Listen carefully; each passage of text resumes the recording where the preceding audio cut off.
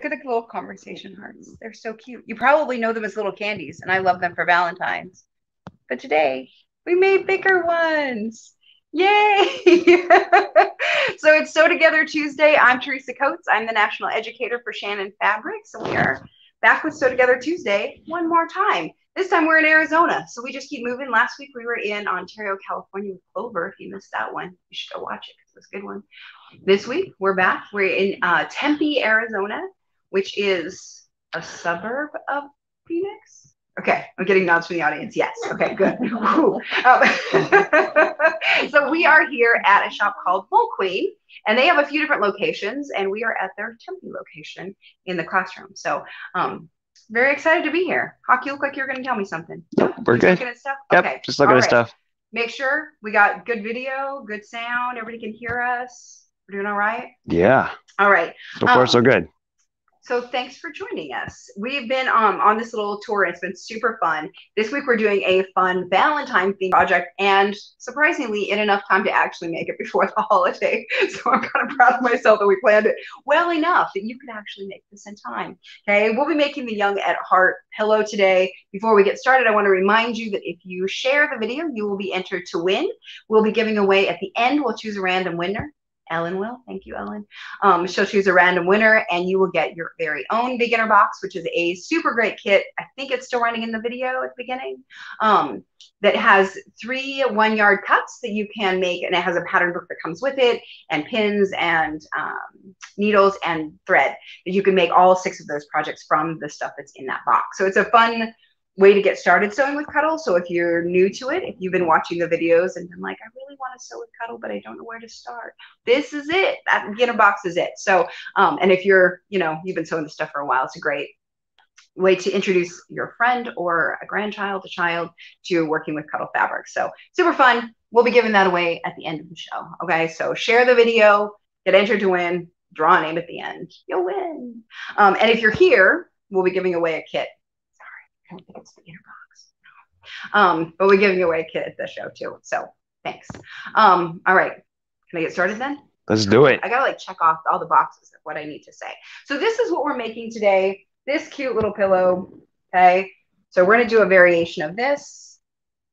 This is a fun little project, and we did it in two different ways. So the pattern is called Young at Heart. I'm gonna try to show you this stuff. So this is just my printout version of it. Okay, so if you go down to the blog, over to the blog at shannonfabrics.com slash blog, you'll be able to download this pattern. Okay, and you will just download the pattern as well as the letters so that you can write your own little messages on here. Okay, so we're going to do it two different ways. I'm going to show you two different things today how to do it via applique if you just have a sewing machine, and how to do it via embroidery if you have an embroidery machine. So um, you can go, like I said, go to shannonfabrics.com slash blog. You'll be able to download that pattern. I think there are two different patterns if you get the letters. Um, and that's what size this makes. So it's a nice, it's a good size heart. Okay. Okay. And we have a few different things, um, different phrases that you can put on here. So we have a few of that. I think, how many did I do? Six or something like that. That I did. You can write whatever you want with it if you're going to do, you know, with your own letters or use the embroidery that's in your own machine. But we do have a few that if you are interested, you and you're watching it live, you can email me. And um, you can, and I will send you the email file or the embroidery files for it. Otherwise, if you're watching this later on YouTube and the live is long gone, then you should be able to go to crinkledreams.com and be able to download the patterns. Okay, so those are the embroidery files. All right. Mary, you want to help me? I give you some hearts. Okay, pass it around, let people touch and feel.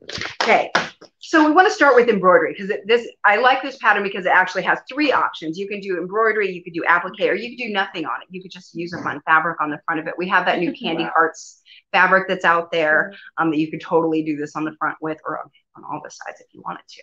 Um, so you can use whatever fabric you want. Make yourself a heart pillow. Use it all the time. Okay. But today we're going to do the embroidery. So I have, um, I'm using the Brother Luminaire today. So this is a combo machine. So we're going to actually do both with it today. This is set up currently in the embroidery function. We're going to finish doing the embroidery and then we'll actually be able to sew with it too, which is pretty cool. So you, if you're limited on space, this is a great option for being able to do both the embroidery and sewing. And we'll hopefully get it to work. And we'll do the whole thing today on this little machine. I say little machine. It's a beast. Okay. So I don't know what what is that. That's probably three feet. Looks like three, Three feet. feet. Yeah. Yeah, It takes up thinking. way more of our little table than usual. yes. Than So the than the than the crescendo does. it just keeps going. It's it's a, it's a doozy, but it does a ton of stuff. It's super cool. Um, okay, lift that up just a little bit. Uh, all right, so I've got it set up.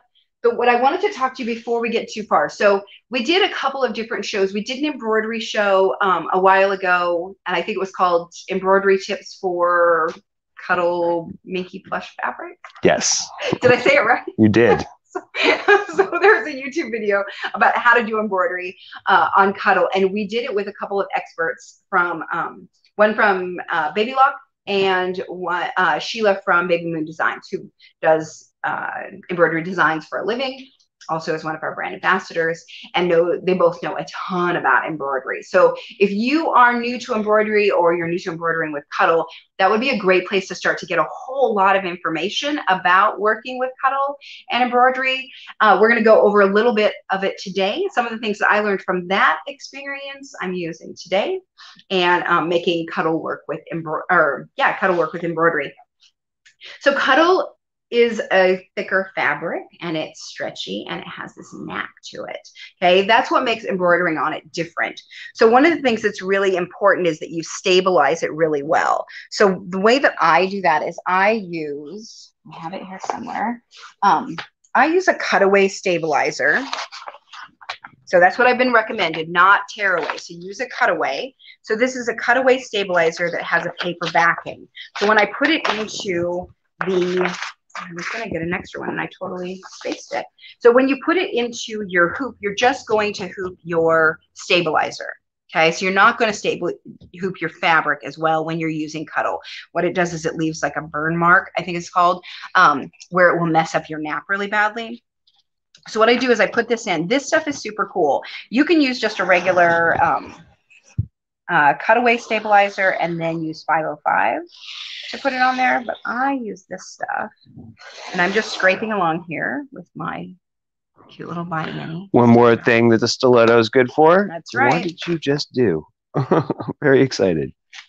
I haven't actually seen you do that before. Yeah, so then it just cuts the paper, and I pull this all out.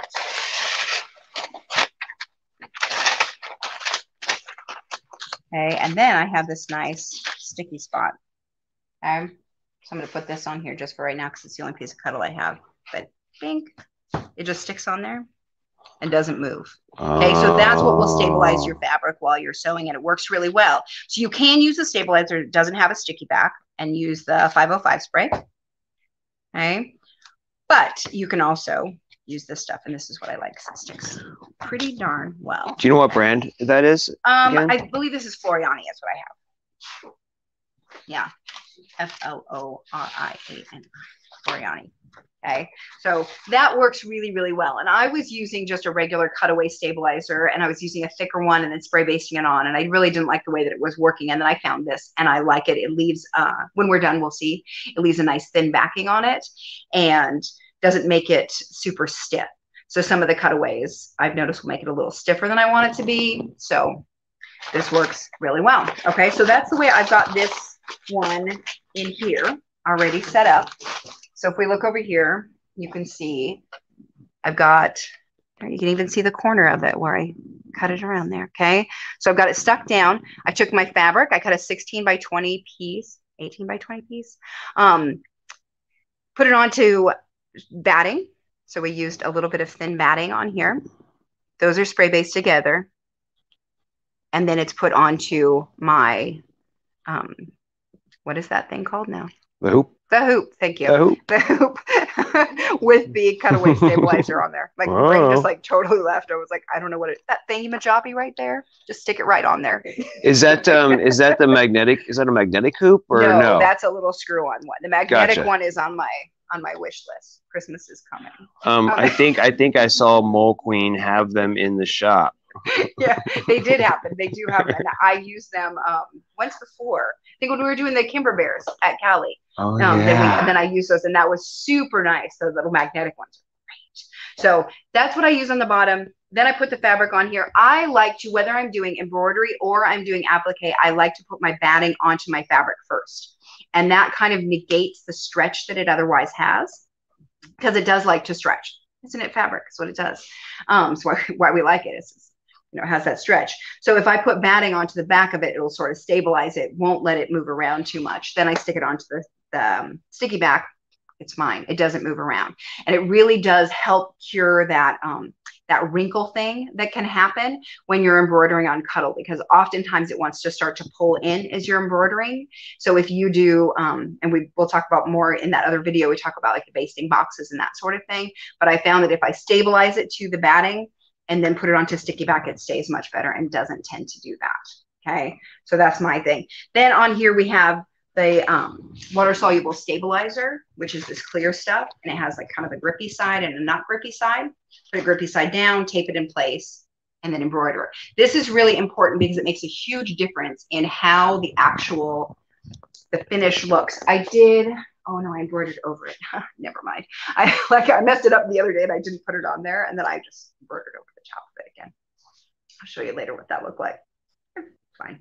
Um, but what happens is if it isn't, um, not even if it isn't like completely covered, the fibers will kind of pop up through the stitches. So putting that water soluble stabilizer keeps everything where it's supposed to be. And it's really, really important when you're working with cuddle and embroidering. So we'll use it when we do the applique as well. And that's in a different, for a different reason that we use the water soluble. But on here, it's really important. I often forget it and I start to go and then I have to redo it. Um, but it makes a big difference in the final outcome. So let's get this guy started. And What was the what were the specs on the batting again? I'm sorry. um, the the what like what the, The, batting yeah, is. yeah. What is the batting? The batting is just the uh, Quilter's Dream Poly request. I have the bag somewhere too. Is it Yeah. 80 20? Uh, no, it's polyester. Oh, 100% 100% polyester batting. 100% polyester because polyester fabric. I just use polyester batting. You can see how thin it is, which I appreciate because it just really is a stabilizer then and doesn't add any depth to it. Okay, you can see it's just super thin. All right, so I like that. But the batting makes a big difference in keeping it stable. Also, if you're doing applique with it, if you're doing like um, machine applique where you do like the embroidery in the applique, it'll really make it pop if you have the batting behind it, which I kind of like. So, um, all right, let me see if I can get this. We stopped at mid function earlier, so I'm hoping we can just get it to to go. We don't have any trouble with the the 505 spray uh, Nope. with the needle the on the embroidery machine. Nope, not at all. I have never had any issues with the 505 um, doing anything funky. It's just a it's a really good product. It doesn't smell and um, it doesn't stick things up. So there are a few different brands of basting spray that are out there. I won't name them because I don't want to be mean, but that are not the same quality of basting spray. And I will say that the OD basting spray is definitely the least smelly and the best sticky. We have found that if there's always I'm going to come around and get um, you know a sewist view of what's Okay. going on here. But there's Oh, always a there's an number on here that has a date. Mine says 21, but there's a date on there, and you want to make sure to check that if it says 2019 or something on the bottom of yours. Sometimes they say 2020 and 2019. They'll say the whole thing. Um, the older ones will get less sticky. So the chemical compound, something, it does change over time. So Got it. make sure. So go ahead. You can check that out real nice and close. So what it's doing is just going to stitch back and forth. It's going to take a few minutes to do it. Um, we should put up. Oh, something happened. No, maybe it's just mine. Did I see it up there? Just fine. Yep, your computer crashed. Not not everybody else's. I'm gonna, I'm gonna try and get it again, see what we can do. I'm glad we just keep plugging right along. It'll just keep. I was gonna, you know, have to put up the, Ingredients. ingredients list, 'cause we didn't Let's do it. You can hear us, Michael. There. There we are. Um, awesome. All right. So what you're going to need, you're going to need a half a yard of Cuddle 3 or Luxe Cuddle, a little scrap of Cuddle 3 in white if you're going to do the applique, You want to download the Young at Heart pillow pattern from shannonfabrics.com slash blog. We'll get you there a lot quicker. It's not in the free pattern section yet. Okay, so we have to make some um, a few little revisions to the photo and then we'll get it over in the free pattern. So download it from the blog today. All right, you want to make sure you have a 9014 stretch needle for the sewing part, craft knife, which is that Olfa SAC-1 that I love so much, a felt tip marker or ballpoint pen, hand sewing needle, long flower head pins, of course, from Clover. We'll do that with the applique and when we're sewing it together. Micro serrated scissors because they work best with the cuddle fabrics. A point turner, some polyester fiber fill, and we will talk a bunch about this at the end. Polyester thread, of course, embroidery thread for what we're doing now, um, the rotary cutter and mat for cutting out your pieces, walking foot, which will be optional and um, definitely recommended. Water soluble stabilizer, paper backed fusible web, and sticky back cutaway stabilizer are all optional depending on what you're doing. Okay. So, depending on which, right. if you want to do an embroidery, you want to do an applique, or you want to just leave it plain, you absolutely can do all of those. You'll just need some different tools for each one of those. Okay.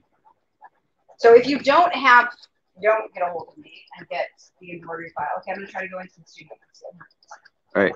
Um, we're, we're gonna I'm gonna we're gonna do a behind the scenes. Okay. Hey, look at that. So there we go. I'm trying to figure it out. um, um, there are a lot of most um, embroidery machines will come with several different fonts in them. So they actually have fonts available. You can put your own in there. Most of them have a block font. Um, I use Embrilliance, which is a an embroidery design software that I use to design these. But most of the embroidery machines will have some sort of a basic font that you can use in there that you can type in your own letters. Um, I know the Pathfinder does it. This machine actually has a whole like creative studio in it that lets you design your own uh, embroidery patterns right here, which is kind of crazy. So you could do all sorts of different things if you wanted to write somebody's name on it or, you know, a whole different thing. You can absolutely do that. It has some like clip art and stuff in it, and you can adjust those, and yep. you got it. Yep. Yep. If you wanted to come up with your own little phrase and you wanted to say, you know, love you, Sam, you totally good. So. Um, kiss me, kiss me, Kate. Yeah, kiss who's, me, Kate. Who's, who's Kate? I don't know. And we know a few Kates, but okay. So that'll stitch all the way out, and then we'll take this out. Um, yeah. What was the other thing I was going to tell them? I can't remember now. I can't remember. Here's the pattern. Get it. Um, we did get the pattern. Get it. Um, oh, that's what I was going to say. Is the piecing on it. So we cut out. I wanted to find that because I said 16 by 20, 18 by 20. I can't remember. Um, 20 by 20 batting squares. If you start with there, then you'll be able to cut it down. Um, I like to baste it on. So what I do is I cut out the heart, I trace around it, the pattern. That's what I brought over. That's what I wanted to show them, the pattern. So this is the pattern blown up on my home printer and then just taped together. This is how big it will be, okay? So you have your 2020 piece. I traced this on the back of the cuddle. I cut it out, and then I basted that onto, with spray basted it onto the batting, and then cut that out. Okay, so I don't try to um, put it on the fold. It says to put it on the fold. I don't. I do one side. I trace it. I flip it over. I trace it. Then I put it onto the batting. You can trace it onto the batting, put it onto the cuddle, and then cut both out. Whatever suits you. Doesn't really matter. It won't change anything. Is it going to sing a song? That's what I want to know.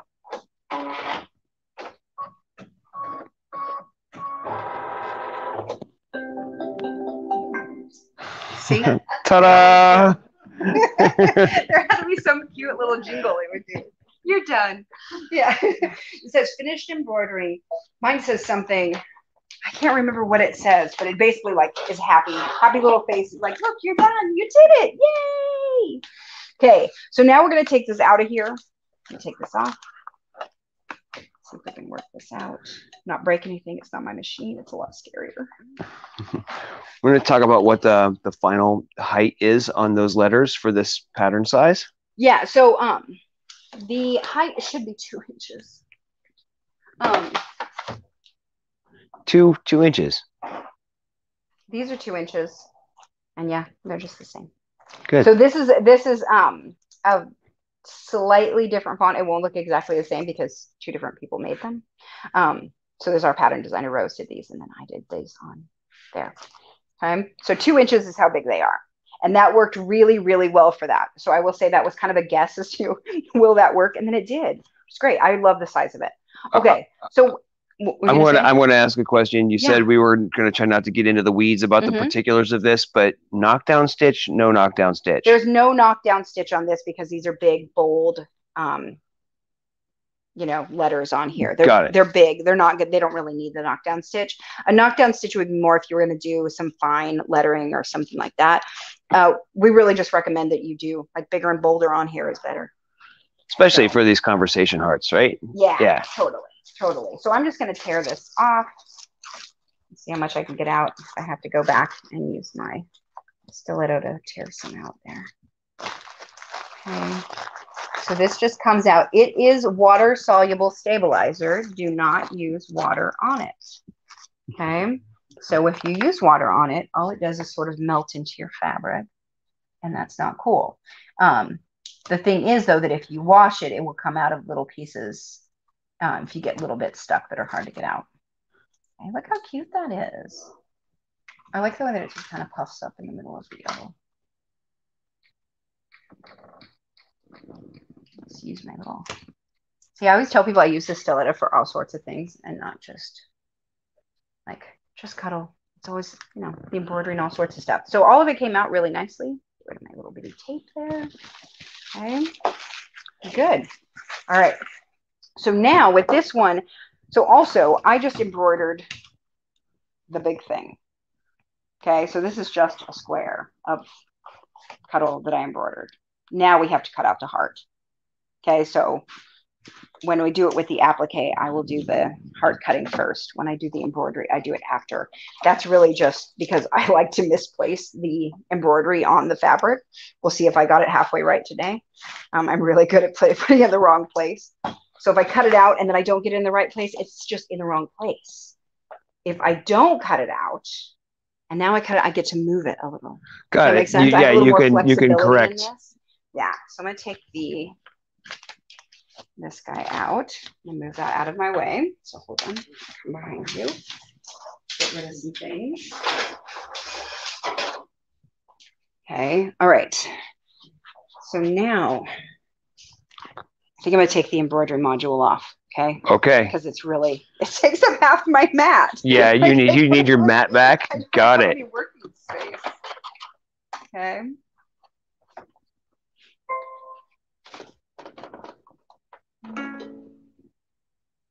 Push all the buttons. Okay.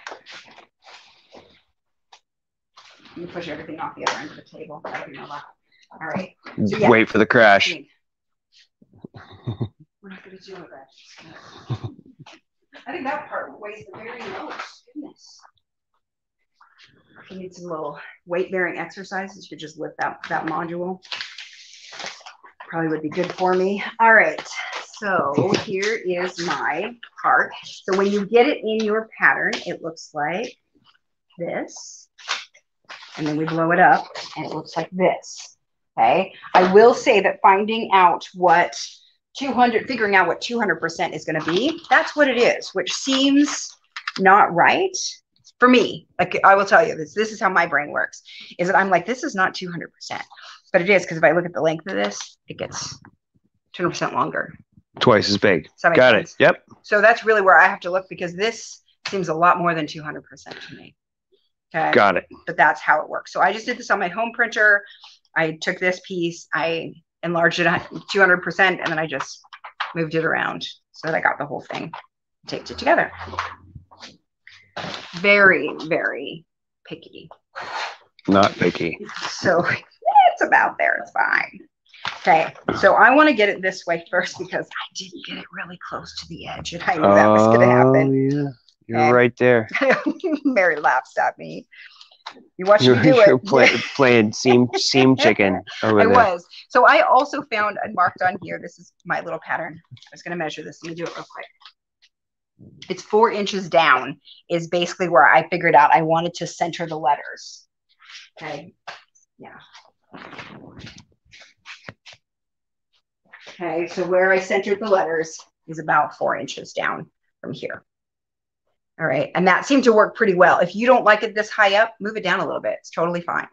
Okay, that's yeah, your preference. You get to put them wherever you want to. As long, as long as you're cutting it out after. Otherwise, you're just stuck with it wherever it got. Right. this is how add, it works. add, add an angle. Yes. Make it make it fancy. Make it fancy. Okay, so I'm going to get this all the way over to the edge. I'm putting my line right down the middle of my XOs. Okay. And I'm going to be super careful. I'm going to start weighing it down with things. Because pattern weights got packed. Wait, are you just sharpieing right just on, sharpieing on it. right on the front of the cuddle? I, Yeah, you- so- this is something you don't do particularly often. It's something that you don't see me do particularly often. You do have to have it in the right place because once you've got it on here, you're, you know, going to be out of luck. You're committed. You are committed. That is You're in a committed relationship with the heart placement. Check. There is no getting out of it now. okay, we're going to move this. I want to get that so that it will go match up. Okay, mostly because I really can't see it as well from the back. You could you could do it from the back probably and be just fine, but I like to live dangerously. Oh yeah, that's true. Actually, on the back of the batting, you probably can see the lettering, right? Mm-hmm. A little bit. but I like I don't know. Like for me, this is one of those things, and it's probably totally just a personal thing. Is that for me visually, I had like I did try it that way first, and I had a harder time visualizing what visualizing what it would look like from the back. Gotcha. So I did it from the front. It's worked. I keep doing it that way. I'm not asking you to do it that way. Just know that if you do, we're sisters in arms about it. Okay, so I'm gonna go ahead. She said this. whilst wielding scissors. the arms just got different there. Okay. So, so you can see it sticks really, really well. None of it moved. It's great. I'm just going to cut a little bit off. We're just going to leave a little bit, about a, I don't know, quarter of an inch or a little more, um, hanging off the side. I did find that in some of the places, and this happens sometimes when you're doing it, is that because these stitches are so close, it basically kind of perforates it and it'll want to tear. But as soon as you start to try to like, oh, I could just tear that instead, it starts to distort your fabric. So really just don't do it. Avoid. So we're gonna leave this on. Got it. Okay. Just a little bit of the stabilizer stays on there behind it. Okay. And that's what actually like stabilizes the fabric completely. Because otherwise it really does, it'll distort around those edges. So I wanted to show you a couple other, I had a couple other little embroidery things. Yeah. So this is one that was not done by me, it done by somebody else. They sent it, and this is a um, a cutaway, and you see it did pretty good. There's a tiny bit of wobble that you probably can't see, but it's not. It's really pretty darn good. This one I did, and I decided I was going to um, tear it. Can you see all the the wrinkle? So that's from me not doing it right. Got it. So you see this, or this does not lay flat, and that's why. What's the It's back of I that look like? it. Oh, it's a super cute little bear. Oh, so the front of it, I meant. Yes, Got it. the other side. the other yeah, side. the other side is adorable. I really love it. I Okay. think it's super cute, but you can see how it distorted it. And it's because I used a tearaway because I didn't want to leave the stabilizer on the back. What I realized is that it's better to leave a little bit of the stabilizer on the back and you can't see it from the front at all. It just gives the the fabric a little bit more oomph right there. And especially in a project like this where we're embroidering it and then we're going to stuff it, if it has a little bit of extra stiffness in that little spot right there, it's fine. The thing is too that that stuff will often get softer the more you wash it. So you could wash it before you um, stuffed it in. Oh, I've certainly had embroidered shirts and stuff where this, this the stabilizer was still on the back of the monogram, and it totally uh, they softens soften up up. after a couple of washes. Right. That's that makes total sense. Something like this, who cares? It's on the inside of your pillow. You know? Got it. It'll be fine. Okay, so now we get to make a mess because at this point we're cutting out the cuddle, the Luxe cuddle after it's been made, which is not generally how I like to do it because it's messy. Um, I'm gonna put half my tools back on this one. Thank you. But we're gonna do it anyway. Let's make a mess. All right. Let's make a mess. Sometimes you have to, and then we'll just vacuum it. It's fine. Okay, so I'm just going to use my rotary cutter and cut right along this line. This is also my um, seam line. So it's fine. I have a seam allowance after that. Okay, so I'm just going to cut. Right there will be consequences. Yes. Probably unintended ones, knowing me. Okay, oops. Okay, I'm just going to try to move this just a little bit and um, try not to get too much of this cuddle mess to go other places. Okay. The less you move it, the better yes. after it's so cut. Really, like people are always like, you're really gentle with it. And I'm like, I am because I don't want the mess everywhere. I really, really don't like it. So I try to move it as softly as I can. Okay. I'm just going to put this to the side right now. Because I did put a trash can right here. And now I have all of this mess that's here, and I'm actually just going to vacuum it. All right. Anybody wearing headphones? Hold up. So if he wants to mute me for a second, can you do that? Oh, I can do that. I, okay. There. Mute me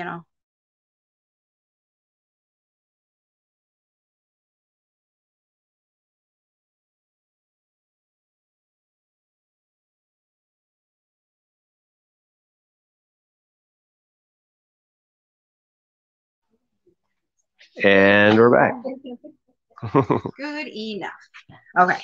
Yeah. We got, you know, we got a few complaints on YouTube for people who didn't like me back Um, so I'll mute myself. It's fine. I get so it. We have a little bit of mess that will still come off. I'm going to give this a little shake, get the rest of it off. Okay. But really, you can see you don't have to make a ton of mess. People are always like, it just gets everywhere. I'm like, stop moving it so much. Okay. That's really that's really the key is just not to move it too much vacuum the crud out of it right away and um, it'll be good to go okay so there is our embroidery version. Great. It's pretty cute right? Super cute. Look at that. All right. Pretty cute. I that, really like it. Okay. So then that's all i was going to show you there so then we're going to do the version with applique so let's give this a shot and see what happens. All right. Okay. We're gonna move some things around, get our machine set up. All so right. I'm doing this one on Cuddle 3 because I like the way that it embroiders. So that's why I'm doing it this way. You could do this just the same on here. I find that I don't like the embroidery or the applique on Luxe Cuddle as much personally, and that is just a personal thing. And since I get to choose the samples I'm making, that's what I did. Okay, so we're going to do this. I cut out a couple of them. So we have a couple of different ways, two different ways of doing this. So I want to talk that through just a little bit.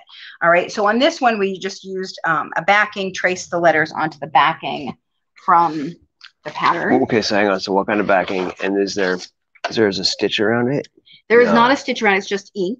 So um, we traced the this is a, just a stabilizer um just a webby sort of stuff i can't remember it was on a roll in my sewing stuff like Pellon or something it's like a Pellon or okay. something got um, it I don't I didn't have any of the iron on, but if you had the SF101, this would be a great place to use it. So just trace that on the back of the SF101, iron it onto here. You'll be fine. And you use Medium the heat, polyester synthetic setting on your iron.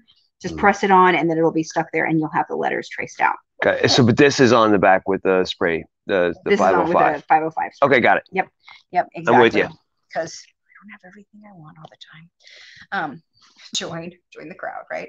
So these were the letters. Trace them out.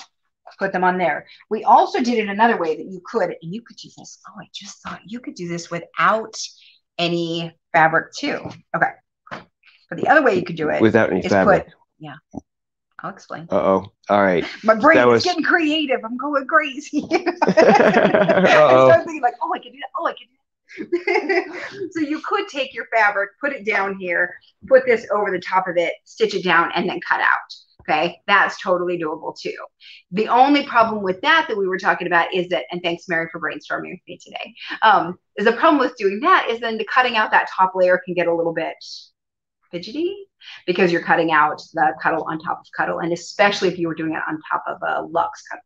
So you could, but I just realized you could actually just put this on here, tape this in position, and stitch around it, like with a nice zigzag stitch or something, or a satin stitch. If you wanted to, just the letters, and it would just be the outline of the letters on here, and then tear that off. Oh, oh, oh I see. I see what you're saying. Sure, you could use a decorative stitch on and um, totally. like basically free motion. Totally, because it would machine. just it when you took it off, it would just be an embossed. Basically, it would look like it was quilted. Oh, okay. To be those letters, which would be a way of doing it that would be the easiest way to do it. Got it. Okay. And this is just with water soluble stabilizer. And I love this stuff for using it on things like this where I want to transfer a design because I can trace it on here really easily. We use the Sharpie on this and it works totally fine. You would just tape this in position and then sew either with or without fabric behind it. Okay. Did that? That does make sense. I, I, I think so. Does that make sense out there? Okay. Okay, I'm getting the nods, so I'm going to assume that I made some sort of sense. All right. So now we get to do the other. So we're going to do a little bit of this. I'm going to do two of the letters. So I'm trying to pet them and figure out which way they go. Okay. So we gave that ruler back, didn't we? Darn it.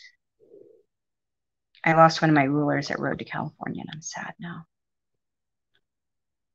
Oh, big classrooms are black holes. That, kind of that's just why really happens. are. Somebody went home with a nice new Olfa um, cutting or acrylic ruler. Sad. Okay, so let me do this. How about if I mirror it? Try to figure out placement without my ruler. I would use a ruler, guys, if I had one. I mean, your whole table is a ruler, but that's hard. I can't put it on top of it. That's hard. Oh, there we go. Hey, look at that. That's a great way to index things. That's perfect. So what I would do is I would put a ruler here to get it straight across because that will be the hardest part is making sure that those stay actually fairly straight. Okay. So now I've got it about where I want it. You can put it however you want. Honestly, the easiest way would be to purposely make it crooked. That's what I do. You know what I mean? Sure. Like you could do like XOXO. Jaunty. That would jaunty. It would be a jaunty pillow. oh my words. Sorry, was adorable. Uh, it would, but if you put it in there so that they weren't perfectly straight, it didn't have to be. Um, then it would be awesome. Okay, so where's my? So I'm gonna do. Here's my straight edge for today. Okay. All right. So now I have a little line that I'm going to put my letters back And on. you just scratch that into the nap with your stiletto. Yes. And it's just going to stay there. And, stay there. and until you don't want it anymore. Right. And Got if I, as soon as I switch that down, it'll go away. Okay, so I'm going to spray the back of these. I've got just, this is just an extra piece of cotton. Um, and then I've got my letters here and I'm going to spray the back of them. How, what did you use to mark the back of that, the, the pink? We use those um, friction marking the felt tip markers. So these, we, there was a little bit of a mission to find these. I went to mm-hmm. some, I went to some art supply stores looking, and almost all of the friction erasable pens were all the ballpoint style. But Moleskine, for example, here have uh, has inventory of these felt tip versions. Yeah, and can they're the fine can liner. You, can you show me the end? Can you take the cap off for yeah. me for a second? Sorry. That's all right. Jumping ahead. So this is what you want. To, if you want to use a friction pen for when you're sewing, this is the kind to use. People grab those ballpoints all the time, and I really don't like them. I mean, that's personal, but they catch in the back of this all the time. So they catch in the back of Cuddle. They don't work very well for this. The, the felt tip marker works really well. And you want to make sure that you're using these in places that are not going to get really shown. So they're not they're not technically a sewing tool, uh, and they will reappear in the cold. So you can iron them and they'll go away. They will reappear if it gets too cold outside. Oh, so that's some, good. I've heard some real horror stories about people tracing out their um, like quilting lines on it and using using a friction pen and then sending their quilts in planes and having them arrive for the show with all of the quilting lines back because it was so cold in the storage. Oh, hang on, yeah, hang on. That sounds that sounds so for things that you frustrating you know, that are just you and it's no big deal. But if you're doing anything that you don't want it to somehow get ruined, yes, you can just iron them back out again. But what a pain.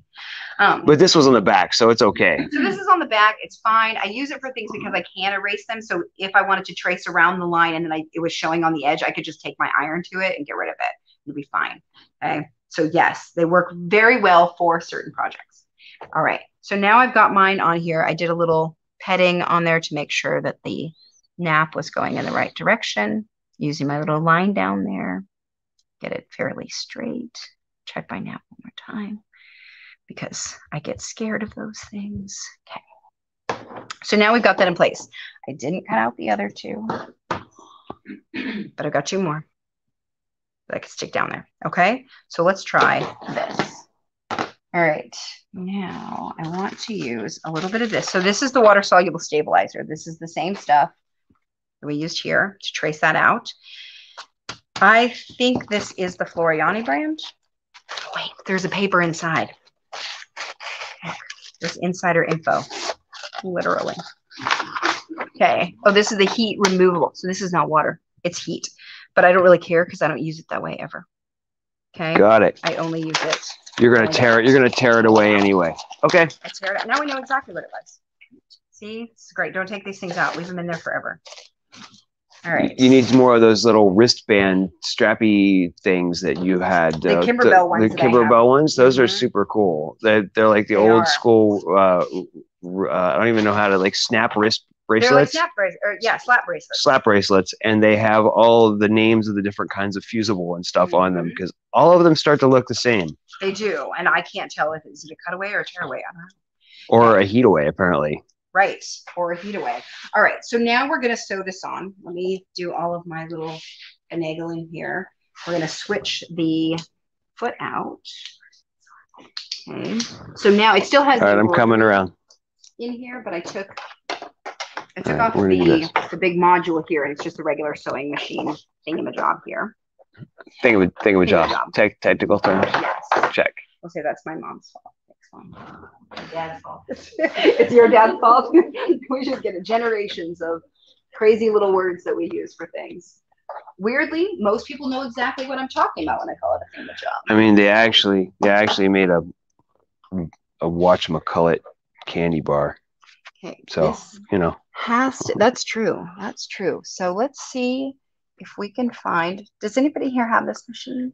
Go to home. I need. I- Well, I got the home. I need the light. There's no light on.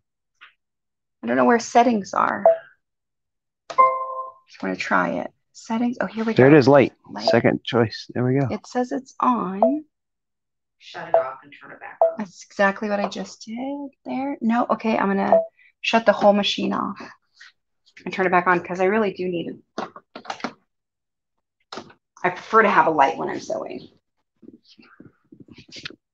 this is you know fixes what 90% of of problems There we go. there we go ta-da thank you Perfect. Perfect.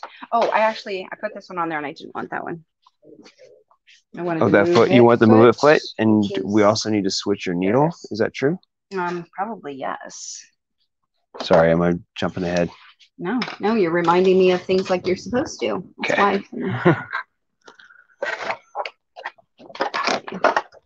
So yes, normally you would just put on a regular foot, but because we're sewing cuddle, we're going to put on what they call the MuVit foot, which is very much like my digital dual. So hopefully now I'll just know what I'm doing. It's always it's always a guess. All right. So there, I think we're good. I should probably make sure I have my my needles somewhere, right? they are over there by the cup. They were. They were. okay, yeah. All right. So now I'm going to switch it out so I can have, because yes, when you do embroidery, you just do it with your regular embroidery needle. And when we do sewing, we're going to do it with a 9014 stretch needle. I'm also going to change out that thread. Because this is embroidery thread. There it is. Sorry. All right. So now, so this is a question that we get a bunch when I'm doing classes, especially in stores that are heavy embroidery stores, is that they have a lot of embroidery um, threads, and which is great. But you don't want to sew with an embroidery thread. They are not meant for holding stuff together. They're decorative stitches, so the, the thread is not nearly as strong, Even though it is polyester, even often though it's polyester. most often it's polyester. Got it. Yeah, exactly. It's just a different kind of thread. Its purpose is different. So we're gonna get this. Wrap that around. Do the up, down, around, back, forth.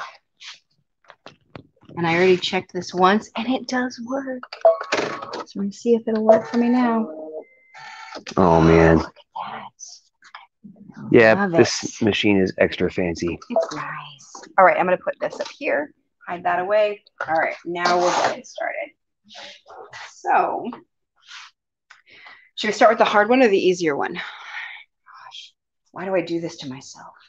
Okay. Oh. it's probably not that hard. I'm gonna switch out my foot real quick too.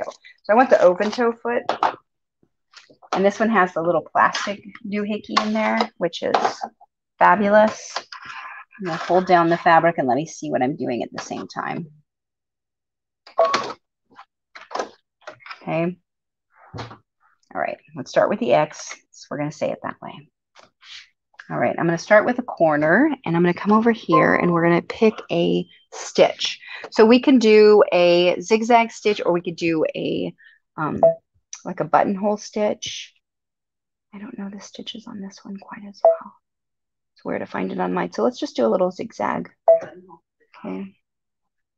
Number four. Top number four. Oh, yeah. that's That one. Could do that. Oh, oh, it doesn't do it in dual feet. Okay, fine. We'll do a zigzag. How much I figured out. We just got here yesterday. All right, so I'm going to make this a little bit bigger. Normally, when I'm doing a zigzag, like I'm just using it to hold down things. And so I'll do like a five and a five. We're going to do it a three and a half and a three and a half today because I really wanted to actually like hold this in place. It's not just tacking things down. And if I do it too big, what happens is trying to get around those letters, like a big zigzag. So if you come up here, a big zigzag up here would um on if you from here to here. If I did it a five, it would go here and then here and then here and then here and then like it's too much to it's too the spacing is too big to actually control. And like here it would be like one and then I'd be all right, now where do I go? Does that make sense? Totally. Like so getting them a little bit smaller. And actually Makes I'm gonna do it a sense. little I'm gonna do it a little narrower because my letters are narrow. Okay, so let's see what happens. Okay. So this is what we're trying now. I'll let you know when we're done if it worked. Can we backtrack just a second? Do you know what embroidery needle was? Oh, there's no foot. I just realized we don't have a foot pedal. I could try to sew with this. Um, yours is going to be over there. I bet it works in the in the in your sewing machine. I'm gonna sew like those crazy people who just sew without a foot. Okay. All right. like those crazy people. I always see people do this at class, and I'm like, that's nuts. Okay. Oh, I have to lower it there. Fine. All right. So we're gonna go forward again. I just have to like keep a. I put it on my slow like turtle mode. Oh, look at that. it's going to work. It's gonna sort of work. It's not gonna be as good as my foot, but it's close. Okay. So now We're learning new things. that's right. My I want my needle to come down on that side. Whoa. Your hand, your hand cranking that basically into position. Yep. Okay. And we'll put that down, that down. Is it gonna go now? Oh yeah. Okay. It's gonna stitch. What about the what? uh, Not that we not that we aren't past this already, but what about your blanket stitch? That's what I was trying to find. Oh, that yeah, was you. You, you said buttonhole, but you meant I meant uh, blanket. okay. We were talking. We were talking blanket stitch. There we Yeah. go. And you could totally do that. And it would be really cute, but I don't know this machine well enough to get that figured out. Oh, stop. Sorry. All right, this is people do this. this is a lot. uh, Somebody's already already mentioned that, that doing this while going around the circle is going to be super fun, and I might need to help. you might need to be an octopus, Okay. a be a octopus. Okay, we'll see how that works. It's working okay so far, though. Let's see. I kind of want to make that a little bit. I feel like that length is still a little bit too big, so I'm going to shrink it down to a two and a half, too. All right, I'm coming Okay. back over. We're experimenting on camera. Shocking, isn't it? I do this all the time. Like, I don't know. Let's see what happens. So we're just going to see what happens. Oh, there we go. Oh, then maybe I can like ease my speed up just a tiny bit. Oh Did Was you it- see I went off? no, because I can't zoom. Oh, okay. Good. Then nobody else could see that I didn't didn't do that perfectly. Oh, I don't know. I'm looking over there at the TV in the room, and it's They can pretty see it big. Pretty well. Okay. Dang it. They can see it better than I can. I So think. I could do this a lot faster if we're doing this with a foot pedal, but hey. The panic. It's not going to be perfect, guys. It's close, but not quite. Oh, I see. You went one stitch too far, and now you're having to, to fight it, fight it back in. Okay. I tell you. you, you, you, you know, I could probably get you a foot, right? You could, but then we'd have to stop everything. I mean, for like this is kind of 30 seconds. 30 because seconds. I All always see people do this, and then I'm like, why would you do that to yourself? And really, like most of the time, they're actually like doing it to themselves. They actually want to sew without a foot. I mean, hey, you know, go with what you know. Well, I was told I asked somebody, um, I think when we were at Road, and I was like, why do you do it that way? And she said, it's easier. I have more control. And I don't understand what the more control is. Okay, when I push the green button, I want it to stop where I pushed it. It goes usually like one It stitch goes more, one right? Stitch more, and I'm like, ah, stop. See, now where it stopped where I wanted it to. Yes.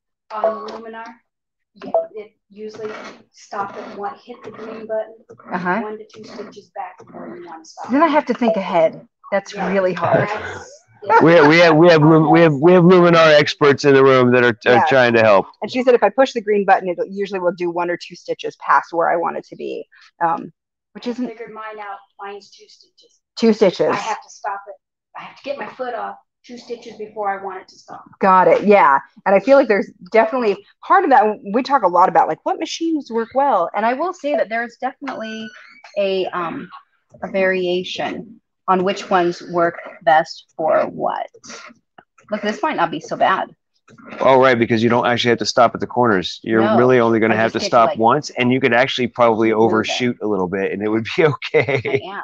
It's a challenge. I like this. Look, I'm learning something new today too. Oh, look at that, control. Oh, mom, mom, mom brought a foot. Thanks, Mom. Always saving me. I appreciate it. Because you know what? That inside circle is going to be going to be rough. It's going to be a little a little tighter. The key really was making that smaller, though, no, oh, or the this not smaller, but well, the, slower. the zigzag smaller, and then the actual stitching slower. got it. I'm like, which button do I push? It feels like when you're like learning to drive a car and you're like trying to figure out what your feet are supposed to do. It's a little bit how I feel like my Yeah, fingers And, right now. and two months later, you have to buy a new clutch. Right, exactly. you have talked Yeah, to my dad. I, I, I talk to myself, I- All right. but So yes. Put the foot down. There it is. All right, we're gonna put the, we're gonna put the foot on for the inside circle. All right, See if I do. brand new foot. It's a Model T. Oh, nice. That's funny. I'm not sure what that means exactly, but I do think it's funny. All right, let's pop this baby on there. So that's the difference. It's funny because we had this happen with um with us because the embroidery machine doesn't use a foot pedal and the sewing machine does. And I remember one time we were doing something and I didn't have my I didn't have the foot pedal or I had it. I we packed it into the wrong thing. I remember that. I remember that experience. Yeah. Anyway, lots to keep track of, and you know, all right, so now let's New machine. see how I can do it. all right, barefoot sewer in the house. I did it. I showed your toes. I know. How much I say don't. Okay, now I put my speed up a little bit more because I actually have some control over it. Not all the control, but you know, some of it. So this is where it's so tight that I do have to like pick up and move things. Oh yeah, the control is a million times better with my foot. I don't even have to think about it. So I'm like, move fast, grab the button, hit it fast. Yeah. So if you sew without a foot, I would love to hear your reason why. really. Now I'm like, that whole control thing is not true. Maybe it is for them. I think it depends on how like you learned. I'm Sure. sure that if somebody taught you or like you were never took sewing lessons, Like how often do actually on YouTube videos, how often do they show like what their feet are doing? Not very often. Not very On often. those tutorial on tutorials, those tutorials, those tutorials, like the the, know, the, the other tutorials ones. that are out there. Yes.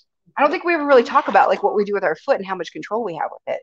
So that's interesting. I wonder now I want to do a survey. All right. I want to find out the truth behind it. the other other machine you use when you use the the um the featherweight you also it has like this uh, extra switch that you flip to go in reverse and you oftentimes will do back stitching Mhm. and i just watch how fluidly you have that behavior down Mm, because you learned on that machine right. and you're really you're you're proficient at it so i'm sure that folks that didn't didn't have a, a foot pedal learned how to use the It's machine true. Yeah, And I didn't actually, I didn't, I didn't learn on that machine, but I had for a long time. I had a Pfaff 130, which runs that same way with the um, the featherweight. How it runs up and down for your reverse, and my Pfaff 130 does that too. And so, and I stood for years on that thing. So yeah, you can you flip it, and you do you get very proficient at certain movements. And I think that's part of that is muscle memory of just sewing for a long time that you do start to learn this. So I'm doing this with the obviously with my little stiletto and pulling it out. So I will say this um this is always a little scarier with these stitches because they're bigger stitches. So I'm a little bit more careful and you'll end up getting the little plastic bits kind of stuck in here. So it'll be a little bit more fiddly to get the plastic out of there. Is it plastic? I don't know. Mhm. I say that and I'm like, they're gonna come back at me and be like, that's not plastic. It's See, but you can get it out of the edges. You just kind of can pull it out. All right. Are people people telling us why they sew with their not foot? Um. Oh, the other thing um, that that people like is the the knee lever. Yo, the knee lever is so good. Oh, I so do. it doesn't really work out that well. I mean, you could. It you does could not work when I'm standing. No, the knee lever is a little funky to use It's when a- you're standing. a- That's true. What's uh the um the karate like that like a karate kid move? I would have some thigh muscles, man. That one leg up all the time. And some good balance. That's hilarious. Yeah, the knee lever is is really a game changer in though and how fast you can um, pivot and turn and all that kind of good stuff. Oh, what was Alright. the machine that you used the other day that had the extra foot pedal on it that had a programmable Oh, was a feature? It was, it was a that was was, a really interesting, and you could you could program the second foot pedal to to raise and lower the presser foot and all kinds of stuff. Look, I gave up early. I just realized I was like, Oh, oh, that yeah? ripped off easily, and that's because I didn't stitch down the first side of the X. Oh Well, wow! I have to finish the other, so I'll go back and finish that. Yeah. So that's how that looks with the. This is the zigzag. So we settled on the three and a half or two and a half I think it's two and a half Two by and two and a half. by two and a half. You can do a straight stitch. Straight stitch is very hard to keep exactly from the edge, and you can totally see it. So I do not recommend it. Okay. Let me show you a couple other samples that we have here. So these were some samples that I did quite a while ago to show how these work. Um, so this is a straight stitch here, which after I fluff it, it kind of hides, but you can definitely see it. Like in person, I can see where that line is, and it has to be kept very even, or you just notice it. Okay. The other way that you can do it, so these are um, zigzags and that blanket stitch. Um, so this is a tighter one. These were done on two different machines. So I did one on my Bernina and one on my Baby Lock, and I can't remember which color was which now. Um, they're basically the same, but the numbers are slightly different. On this one, I could see that they're a little tighter than on here, even though they're set to the, technically the same measurement. Okay, and then this was on the Sparkle. Sparkle's amazing. Okay. All right. This was the same, so this is a bigger, a wider blanket stitch. And these are So that we could we could say that we could probably go back and figure out what the numbers were on these, but really this is more like an experiment that you need to do at home based Yes. on your your machine and also how fast you're moving it through the machine changes the stitch length too. totally, correct? totally. And what I would do is I would take just a little piece, if you want to do the applique on your heart like this, I would take one of your little scraps and I would put some here and I would practice a few different stitches to see what you like. Okay. So whatever suits you. The zigzag is fast. The blanket stitch takes a lot longer because basically it's like two stitches. It does like these stitch stitch. Like I think it does two stitches and it goes back and then it comes over and then it goes. It, it does this whole like over thing. Everywhere has two threads. Got it. Does that make sense? So Yep. everything is stitched twice. So it takes a lot longer. It's a lot slower stitch to do, but it's also super cute. So it's kind of, you know, which one do you want to do? Up to you, but they, they're all three ways. I just don't recommend the straight stitch is not my favorite. And especially if I were doing something little like this, trying to keep that even as I went around sounds torturous. General general cuddle question here. Um, the edge of cuddle doesn't unravel. Right, right. Because So it's a knit. It's great for applique. Because it is a knit fabric, it doesn't fray at all. So you can cut it whatever shape, however you want it. And the only thing that matters is that you tack it down well. It's not gonna like pull up between or um, like fray up between those. So like you've done it with cotton, it will definitely fray along those lines, even if you stitch it really well or do a blanket stitch or whatever. It will still kind of fray up in there, which is why a lot of times we use backings and that sort of thing with it. Cuddle, you don't need to. It's not going to fray. It's not going to go anywhere. You can do basically anything with it, and it's wonderful. Yeah, yeah, it's great for applique. And I love it because there's so many different textures too, so you can really kind of play with the textures and get the look that you want, depending on which backing you use, which topping you use. So like on this one, you can see the edges a lot more than you can see. I mean, granted, they're two different ways, but like this one, you can see the edging is down here like you can't really get to that very well because it's stuck under all this other nap that's over the top. So I can't see how imperfect that is. So that's one of the perks of using a Luxe Cuddle where this one is they're right on top of each other so you can see it better. Okay. So just, you know, different factors of it. It's not one that one is necessarily better than the other. Okay. Do you know what I want to do? We're going to do this. We're going to do the other XO. Hey, look, Oh, I got yeah. them pretty close to what it. Oh, you got the spacing between the letters. I see it. I Pretty, pretty pretty good. much perfect. Nice I'm work. Pretty happy with that. Okay, let me see. I don't have my tape right here, so I'm gonna pin this. Let's go back over and we're gonna stitch this, and then we'll sew the pillow together.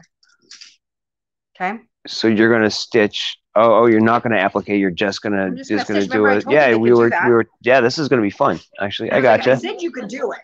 So let's do it. really. So we're gonna we're gonna find a fancy stitch. I'm just gonna use. Like a I'm just satin use stitch straight or- stitch, Oh, okay. All right. just because I want to see, because I think it will give it kind of like an embossed look.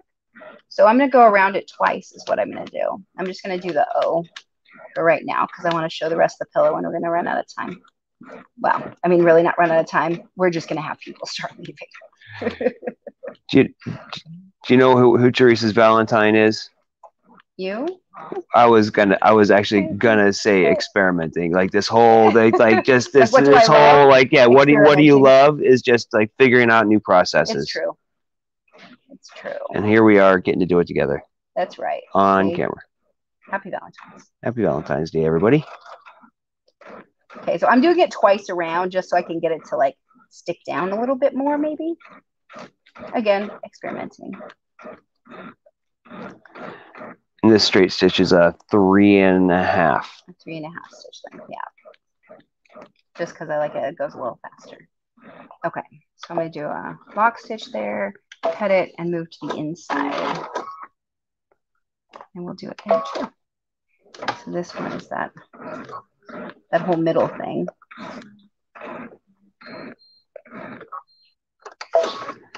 And this is just uh the weird white thread uh, Yep, on the pink, and it's just gonna bury down in, in it's just gonna bury, but I think it will show up in a way that actually will work. But we'll see. We'll see. I could be totally wrong. Well, we're not gonna see the color of the, the thread for see sure. the, thre- the thread at all. It'll be like embossing. Cool. So it'll just I'm sort of excited. hide in there. Sorry.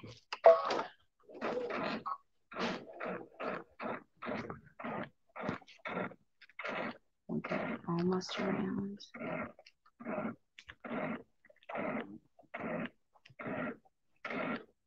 I think that was twice around. I don't know. It's really hard to tell. It's all right. At least some things are very similar to your machine. Yes. Yeah, some days are very similar. like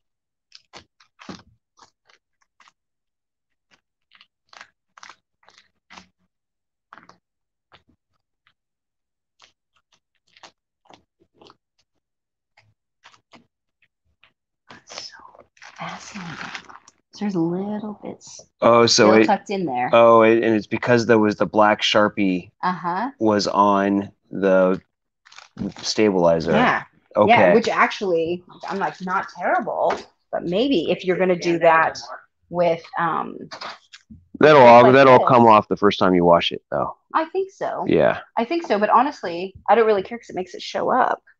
That's cool. Yeah. all Look at that. right. Okay. So I need to be more careful right here and get those two on the same line. We'll pretend they're they're right. All right. But it did work like I thought it would. We just emboss it. Yeah, that's super interesting. All right, thanks for experimenting there. Great. Okay, so now we're done with that. We're gonna make a pillow? We're gonna make a pillow. All right. All right, so now you can go back around like we were. Okie dokie. I decided to get all crazy with it. I was like, wait, we could. Okay, so that would be a time that if you don't want that ink to show up, if you use the friction markers, that would totally work. Or like the blue markers or the, these guys. This is the other one I have. This one is um, I think it's Dritz. It's Mark-B-Gone. I can't remember. I'm gonna say that might be Clover because it's actually it's made. Um, okay, but this is the little blue marker that would totally work on there too. I see it on there. That one come up with water? Yes. Like does the blue one show up? Works on here. Oh yeah, Uh, there we go. the purple one will work. Then I you probably can't see it on there. Hold me over. There we go. There we go. Ta-da. Okay. So the purple one I can see. So you could put that on there, and then if it got onto your fabric, you just wash down. It's totally fine. Never gonna see it again. All right. I'm gonna try something like that because I think that's super interesting. You could draw whatever and then like put it on there and stitch over it. We might have you draw some things. Just. Check. Um, he's an artist. I am. I'm a creative. we go around. It's like, all right, where are we going with this? Yeah. I almost said I'm not, and then I knew he would come over the camera at me. so we'll change it. All right. So once we've gotten our embroidery played. down, or our applique, however you want to do it, or if you're just doing two heart pieces, you're going to have your two heart pieces backed with the batting.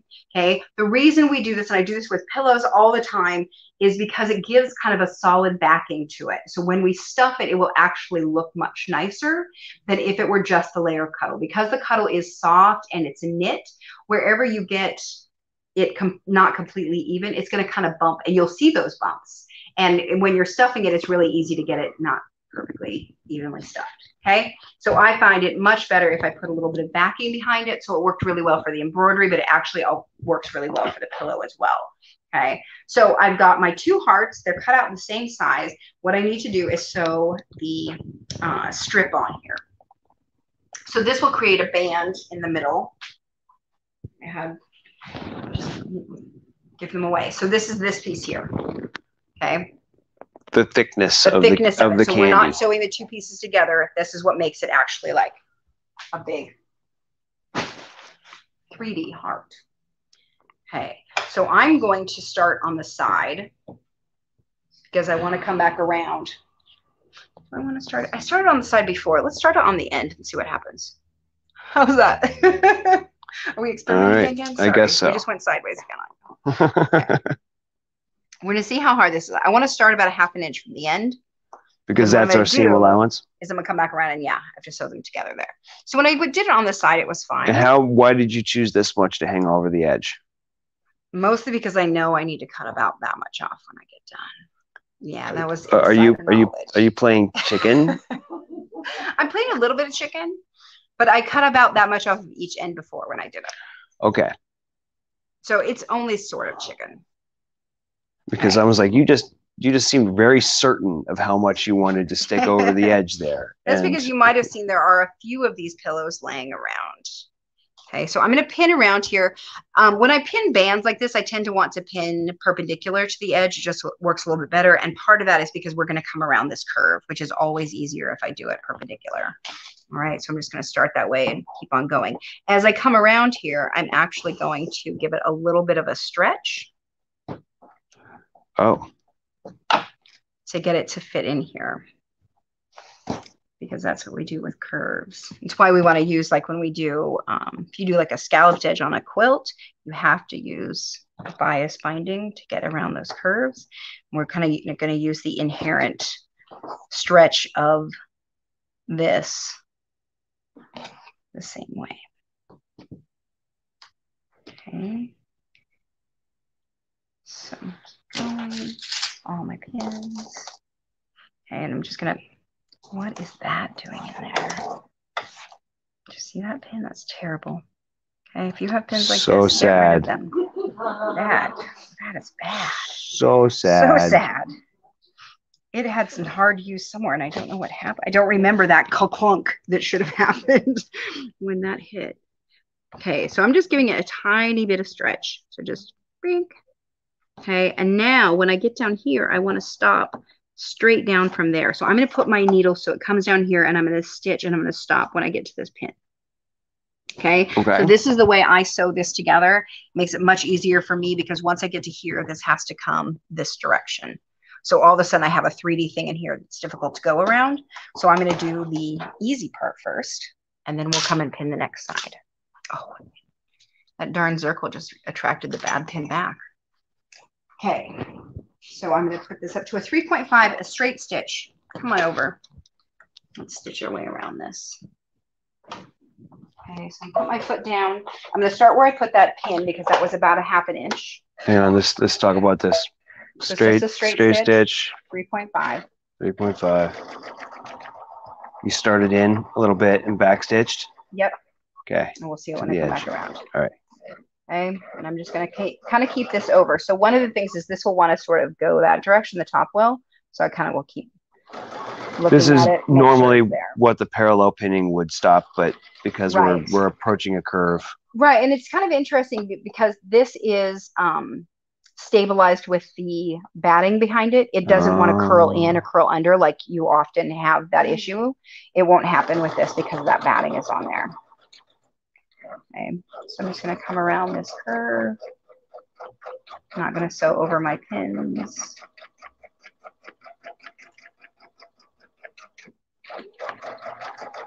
And the biggest part here is just trying to keep a smooth line as you go around.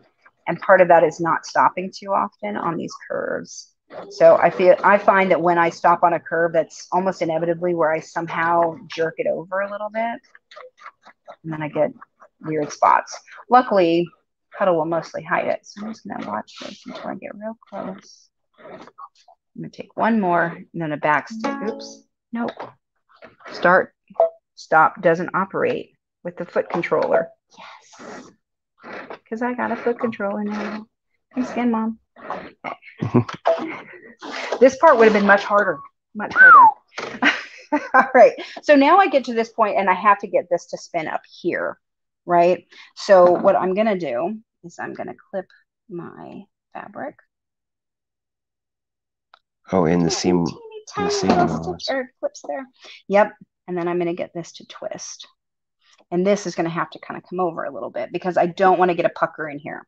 Okay, so you can see like I can't just keep this all nice, nice and neat and have this come over. It's not going to happen. I have to kind of fiddle with it a little bit. Okay, then I'm to get that here. I'm to get another one and then we're to go back over the table and pin the rest of it. Okay, because I want to pin all the way around. I will say that on one of them, I decided that I would try to get a little feisty and just fix this corner and then start stitching. That was not a good idea. I uh, I did some unsewing and I learned my lesson. So go back and make sure that you pin the second side too. Um, and like I said, it's just a tiny little stretch. We're not trying to really stretch it a bunch. Okay, it's just really keeping it so that it will kind of go around that curve nice and neatly. I'll work my way around. So I did find that um, I could do it this way, where I stitch all the way around, uh, or I pin it one half and then I do the other. I did find that I, I have a certain amount left over at the end. Of course, I did not measure that amount, but then I cut it off the same amount off the second one, and then I pinned it here and here, and then stitched all the way around. Yeah, so I was able to find like the middle point. But this way, it's just fine. So there's just one thing when you make something several times, you'll find easier ways for you.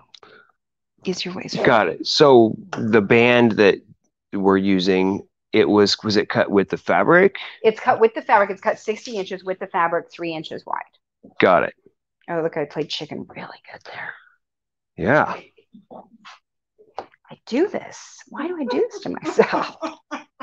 I was like, I think it's plenty. I think I cut that much off both sides. I probably did. And I probably stretched it differently this time. Don't I hear people laughing at me? and rightly so. And uh, you want to talk about why my tongue is bleeding? why is my I'm tongue not bleeding? perfect.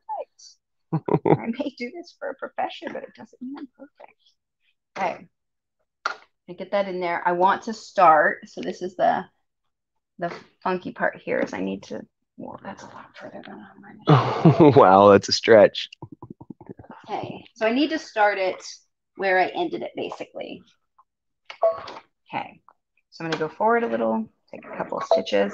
So I will say that at this little point, it's real easy. And I think I did it there. Oh no. It's really easy to catch a little pucker at that corner. So if you do, just clip it and fix the corner later. Um, but it is hard to, to not always get a little pucker down there.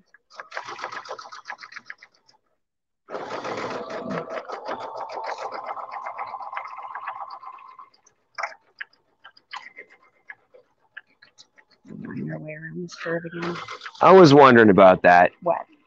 Some uh, after some uh, uh, one of our our audience had Mhm. foot surgery and they had to learn how to use the the, the button Oh. when you know See? the foot pedal wouldn't actually work for them for a while. that seems like a very suitable reason. And you can totally, you know, it's totally doable. You can learn.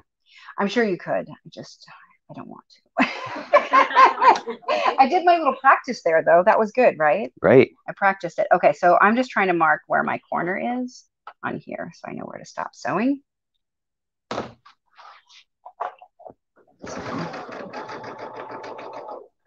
Because I'm going to actually get pretty finicky about that little part there.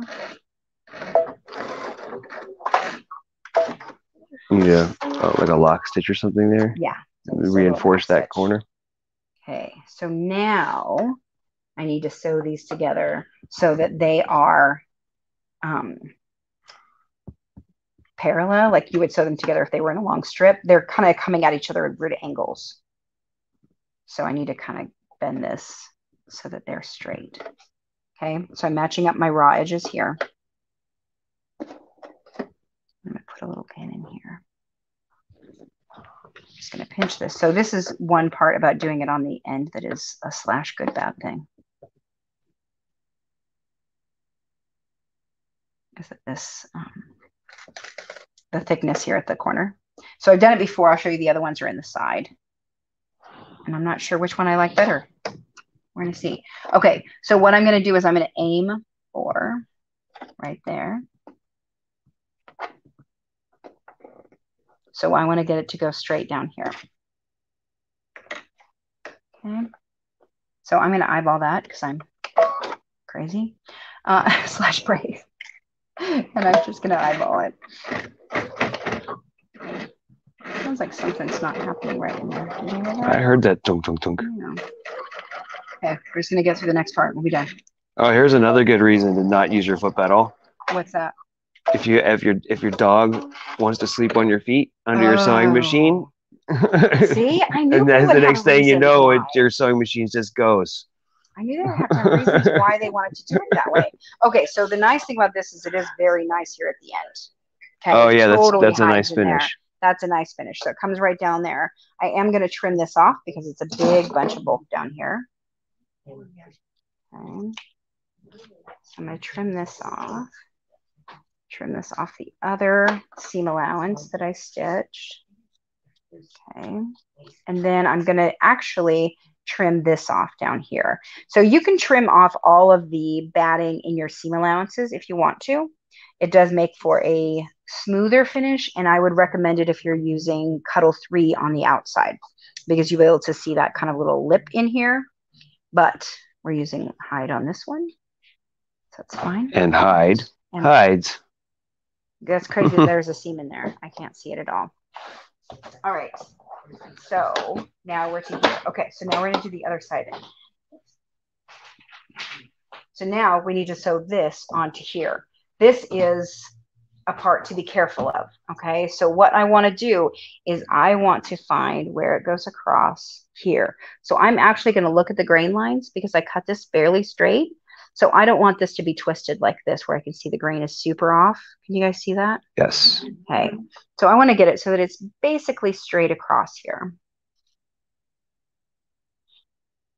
Okay, I'm going to pin this here. Okay, that's where I want my middle of the heart to go on the other side. Does that make sense? hmm Okay, so I, and I know that the end seam here is the bottom of my heart. So this is where I'm gonna say, so before I, I, you could sew the whole strip together and do it this way, but I'm do it this way. So I'm gonna get this. This part seems like an important part to match. It's an important part to match. So I'm gonna actually move this so I can pin this a little bit better because basically what I want this pin to go straight down the middle of my heart again. Okay. So this is where, because it has to be a half an inch away from there. So I can kind of eyeball it here. It's going to go over there. I'm going to make that match with my pin here. That when I'm stitching, those pins are going to match about a half an inch away. Okay. So it's a little fiddly, not terrible. Put it from that side so I can see it, and then we're gonna pin all the way around again. So you can see the um the stabilizer. It's just gonna stay on there. That's what it'll look like when you're done. I did do one where I put the stabilizer on first. I just stitched it with the stabilizer. And we'll say that wasn't as good. Okay. So we're going to sew it from the other side this time because I want to see how it's different. Okay, so when I grab this, I just give it a tiny little bink pull. oh, you're you're tucking the the tucking the nap down into the seam with your with your finger Only as you sort go. of, but really I'm kind of giving this a stretch and not stretching this. That's what I'm trying to do there. But my finger just happens to do that. Oh, I see it because that's I'm- right I'm because stretching the band. oh, I see. bit. If I stretch this, this can, this fabric can stretch quite a lot, and I don't want it to. It won't stretch so much for the batting there, which is great if I keep it together. Yeah, you're doing this magic thing with your hands that makes it look super easy and like there's like four different things going on all at once. Now I now I'm starting to understand everybody catching what she's doing with like her the, her her middle finger and her pointer finger. Right. This kind of tugs it, and then I pinch it, and I hold it, and then I pin it. Yeah, dexterity. You have it. trying, man. I'm trying. Okay. And all that does is really it keeps it so that the heart is flat around the edge. If you don't do it, it'll sort of start to pucker weirdly around those uh, curves of the heart. Okay, so we're still going to do this one side at a time, one one side of the heart. I just find it way easier. Okay, so now I've got it around the curve. So now I need to get this to match. Okay, so good luck with that. What? You're being sneaky this this this morning. we'll see what happens here. Okay, so now You got this. I hope so. It worked every other time, but you know, things that have worked every other time. So this is where like I've got a little bit of extra, extra in here. So I'm going to feed a little bit in, but then I'm going to kind of go back over a little bit of my my heart here and get it to to flatten out. See that? I see that. Okay. So that's why I picked that the middle part first, and then I kind of just go and see what has to happen. But because I know it'll fit, it did on the other side, right? It has to fit in those those places. Sure. Yeah. All right. So now let's sew that. Okay. So I'm going to start at the pin. Sew my way around. So basically, one side might have been a little bit longer than the other because of how you stretched it, but that point has to line up. So then you just keep having the the longer side until the difference is gone. Sure. I don't even. I don't even have it at this point because I don't really have a half. I'm just kind of because that curve changes the way that it is. Like I can't divide half because I don't know. No, no, sure. So it really is just kind of um, uh, evening it out and just working. So the thing is, we have a lot under here. So I want to make sure that this stays tucked aside. So I'm not gonna be able to sew quite as fast as I did before because I want to bring that over and make sure that it stays nice and flat. And we don't need to use batting on the band strip. I don't use batting on the band. It doesn't seem to make a big of a difference. It really just gives it one more thing for me to, you know, argue with at some point. So, yeah. And the band, it would take the stretch out of it, and we don't want that. We want it to stay slightly stretchy. And that's So- that's specifically because you cut it on the width of fabric. That it's a little stretchy. Yeah. Yep. Exactly. Thanks, Jackie. Good note. Yep. And so this, we're de- I'm dealing with that thing where I said like where it'll curl. So this is on the bottom and it wants to curl just a little bit. So I just have to keep kind of playing with it and bringing it out. And once I get to a flat spot, I won't do that anymore. But on the curve, it definitely wants to wants to do that because you remember if you stretch it on the curve, what happens? It curls. Or you stretch it at all, it curls. Mm. And so that's what's happening, which is just part of how this is made. So it's just part of it. There's no way to make it not do that. I always like it when people ask me, how do I make it not do that? I'm like, you can't. Like, it's just part of the fabric. Okay, make sure that that's even. I feel like this is a, a wrestling match. It isn't so much a wrestling match as it is just a keeping even. I mean, I could be a lot less finicky about it and it probably would be fine, but I'm trying to keep it, make sure that it is. So the easier way of doing it is sewing it from the top side. So remember I said I was going to sew it from this side to see That- if it was that's true. That would be the difference, is that I have to fight that curl a lot more, which isn't as much fun. So let's sew it from the right side, the other side this time. All right. So now what we need to do is we need to leave a space where we're going to turn it. So if I sew up the whole other side, we're in trouble because then I can't turn it inside out. So we're going to, not surprisingly, put a little mark in here where we're going to hand stitch it. I like to put it about the width of my fingers so I can get my fingers inside of there. I'm going to do the same thing here. So I've marked it with my pins. And I'm going to come up this direction and do the same thing. I'm going to clip this just next to here so it can bend a little bit. And then I can get this to match. All right. So now I know about how far from the end my turning hole is going to start. And I'll put one here. So I'm going to stitch the little stay stitching on each of these sides. All right. We do this a lot on things that we're going to turn. And it really makes, it seems like this little thing that shouldn't make that big of a difference. And it makes a huge difference. I'll show you we're going to do this and I'll pin this a little bit and then we'll do this um, stitching on the other one. But it makes a big, big difference in how easy it is to do the actual finishing stitch because the fabric likes to move. And if I don't have a guideline on where my half inch seam allowance is to hand sew it, I just kind of have to guess.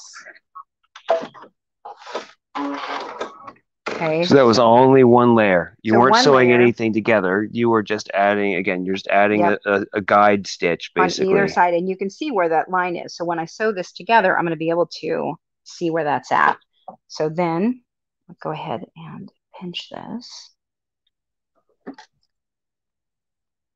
sew it i'm going to sew this one little end here okay oh that's what happened got a little on the other side and i'm just going to take a couple of these that stitch out i did, did back stitch so it should get down there just fine Okay. And if I was scared about it, I could go over it again. Scared might not be the right word. That might be a little dramatic. Con- con- con- concerned that it was not going to be stitched well. So I was a little worried that it was it was gonna not hold perfectly. Okay, so now I've got my two stitching lines, the stay stitching lines stuck together. I'm gonna come under here. I'm gonna put my foot down. Okay. I'll put my needle down. There we go. And I'm gonna twist it. And then, nope, not what I wanted. Nope, not what I wanted. There we go. Which button do I push? Okay, I'm gonna come off to the edge, come back, and I'm gonna stitch down. That little L stitch is a reinforcement stitch for the turning hole. Yep, exactly. I'm show you exactly why that works well. Okay, so then I would go ahead and I would take, pin this up here, and then evenly pin this all the way around. Okay, and then sew that. And then we have our turning hole. So you'll see each side is like this. Okay. Then, Yep. we, then we go ahead and turn it. Then So I- we're skipping. We're skipping ahead. Here, ahead. here we are. We're gonna we're gonna do a, a, a step out, basically. Okay, so once we've stuffed it, I've stuffed this. So we're, I'm going to show you how to hand stitch this. Um, but I wanted to talk to you too a little bit about polyfill. So we talk about polyfill a lot. There's a couple of different kinds. So this is the newer bag, I think. I got it tied shut here. So is this the? Is that the? no. This is the same stuff. This is this is what I have here. Oh yeah, here it is. So There we we, go. have three different kinds today. Okay. So silky polyfill is almost always what I recommend for when we're doing stuffed animals because it's super soft, it's squishy. Let's see if I can open this up. Did you put a rubber band on it? I did not. Did Mary do that? She did not. No, I already accused her just now, and she was like, "Uh, uh not me." Somebody else was. Somebody else was Somebody helping. else was. Okay, so I'm going to pull out a little bit of this too, so we can kind of see the difference. All right. So this is the silky polyfill. This is the Which used to be used to be royal Royal silk.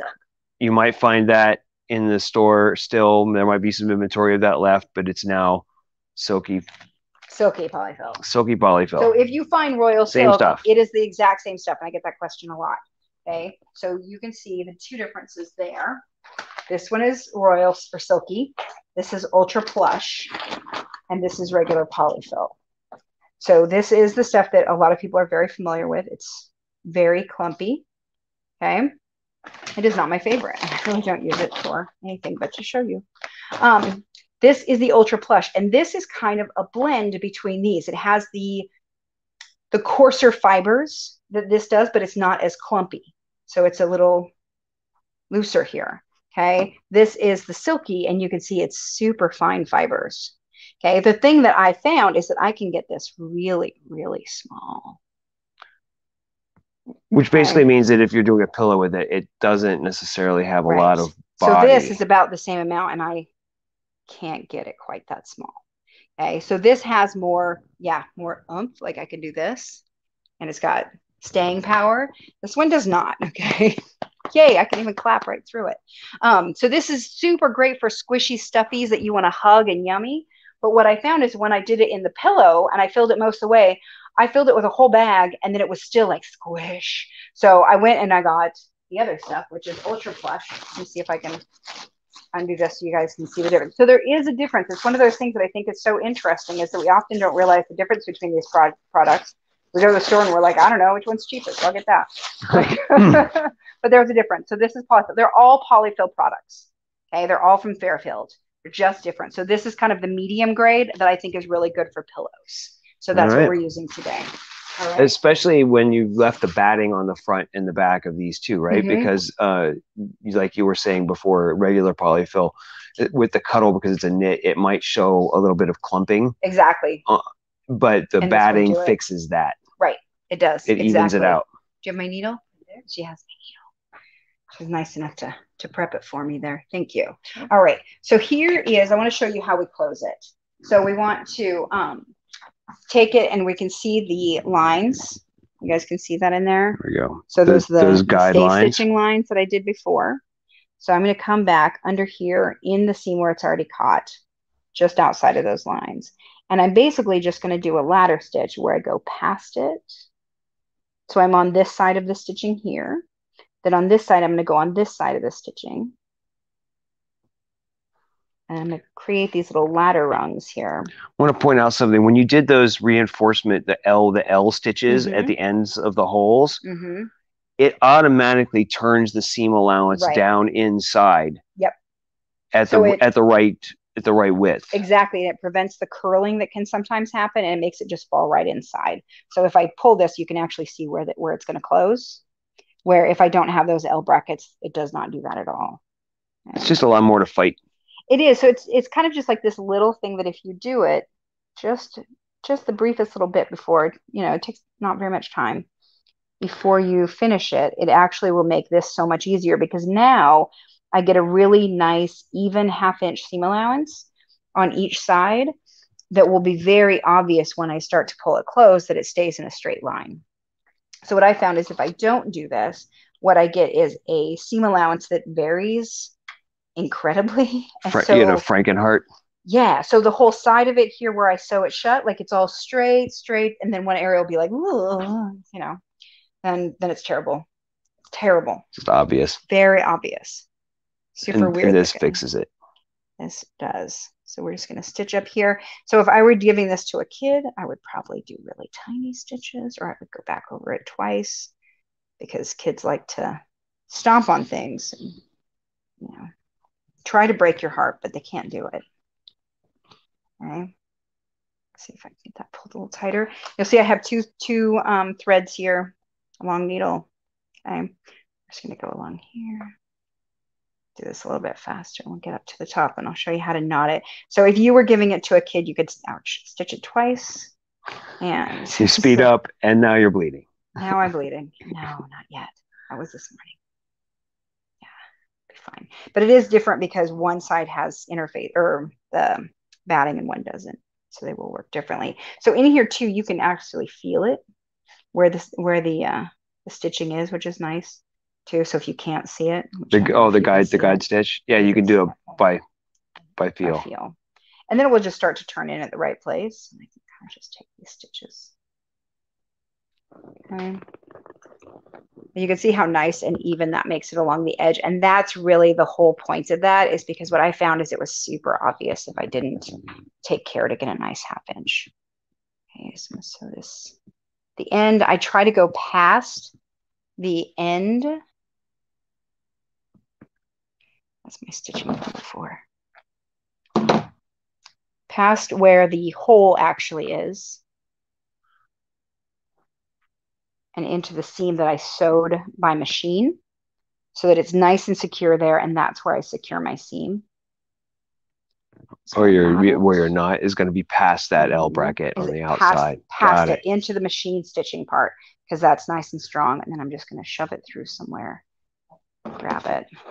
And that way the tail gets buried inside the pillow and you're not going to accidentally cut the tails off. Gotcha. Clip that. Jackie Okay. says she uh, uh she knots in a couple of places along Yeah. that just you know to, Yep. just to make Yep, sure. just to secure it. And so if you're going to stitch that real well because you're going to give it to a kid, it's really important that you get that knot so that you can.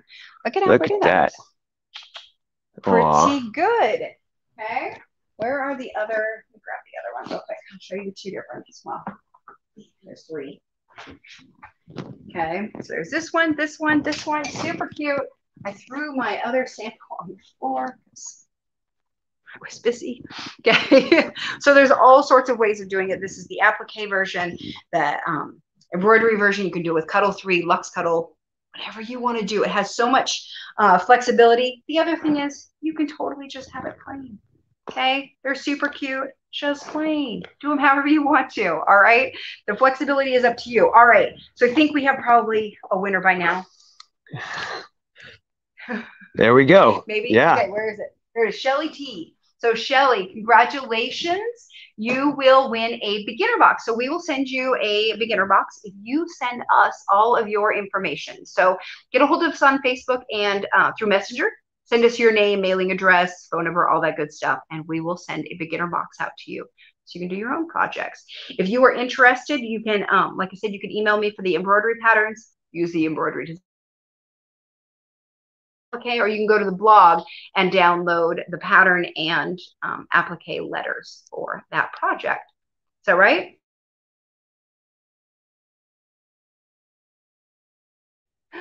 It is. It's that was twice it did that. Okay. Oh, I think we're done, everybody. Quick, quick, say happy sewing before it All does right, it again. Happy sewing. See you next week. Bye.